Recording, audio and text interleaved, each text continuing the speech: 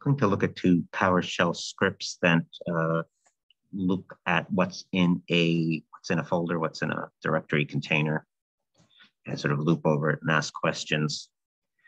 So here's the first one. Um, the get child item command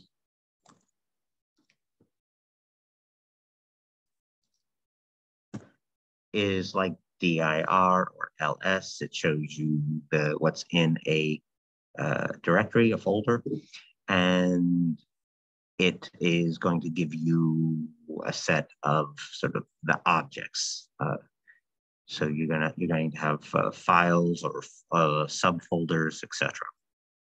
If you don't specify any path, then it's going to be the sort of uh, the present or, or current directory, the present working directory. Uh, I'm going to use a uh, for each type of loop. Um, the get child is producing a, an array of, of objects, items that are contained uh, in the directory. And I'm making up this dollar sign file is just sort of a dummy name in while I'm iterating through that uh, array of objects. And I called it dollar sign file, though it could be uh, could be dollar sign item, um, but I, I called it file, um, but it could be a folder or directory. So here's my for loop over those items that were generated by the command get child item. And I'm asking uh, dollar sign file dot uh, ps is container. So the ps is PowerShell, and then this asks gives me a boolean asking true or false, is this a container? So that's going to tell me if it's a folder or not. And uh, so that if it was a folder, then I'm just writing out write host um, and host uh, normally write host normally goes to is directed to the terminal.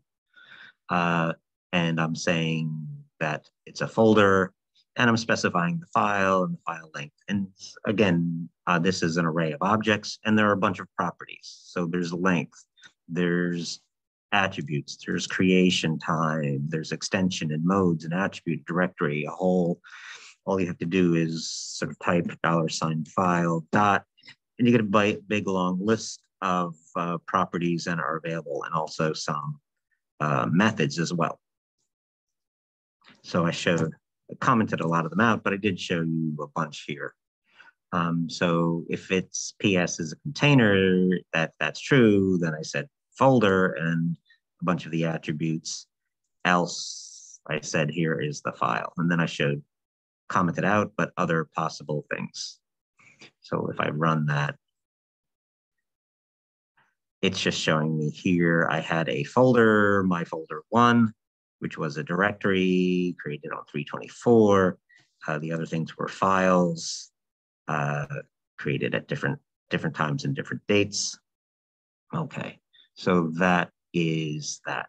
Uh, get child item produces an array of objects. I'm using a for each to loop over the objects. Dollar sign file is my dummy name for the iterating. And I have a bunch of uh, properties uh, of those items, one of them is a Boolean ask telling me whether or not it's a container. And let me move on to the second script here. In the second script, I am creating an array, an array of strings.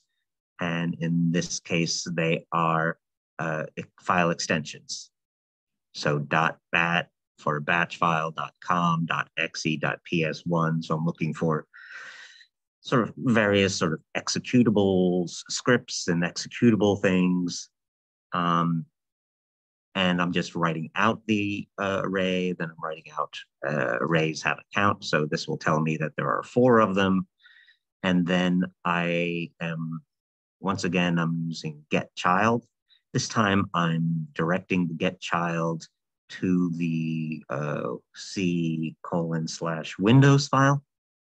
So this is going to not, not be my present working directory, but it's going to be directed towards Windows and it's going to loop over the things it finds there.